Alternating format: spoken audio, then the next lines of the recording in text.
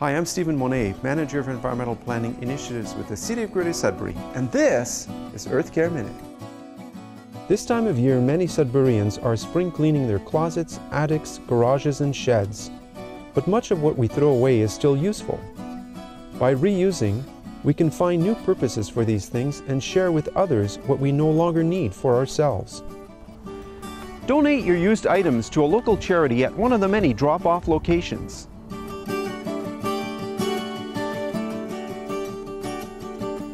If you're planning to renovate this summer, contact the Habitat for Humanity Restore for supplies or to donate unneeded building materials. A variety of great used items are also for sale at the Reuse Center at the Sudbury landfill site. The next time you go to throw something out, think about how those items could be reused. EarthCare Minute. One minute is all it takes. Brought to you by the City of Greater Sudbury.